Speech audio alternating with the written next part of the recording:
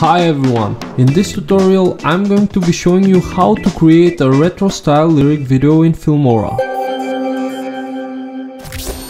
So to get started, firstly go and download your backgrounds. I got mine from Elements Envato and I will put a link for them in the description down below. Our first step for this tutorial will be firstly finding a title, uh, drag it down to the timeline then uh, choose the font retro signature. Make sure there is no animation on the text.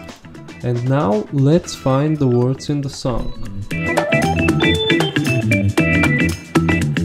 Okay guys so now that we've uh, added a color to our text the next thing from here will be to add the glow effect. For the glow effect to function you need to add a black background.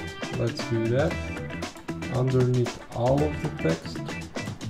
Now let's adjust. In this part of the video I'm just adding the animation to the text so the text looks really cool. Okay, so we've just animated our lyric. The next thing from here will be to export this video and let's do that. What we did here was made the opacity on the video 50% and uh, this is a loop video so we can double it. Uh, the next thing what we did was added the exported lyric video to the timeline and we changed the blending mode to exclusion. And the final step will be adding the melt effect to the uh, footage that we've exported. Here's our final product. Can you hear can you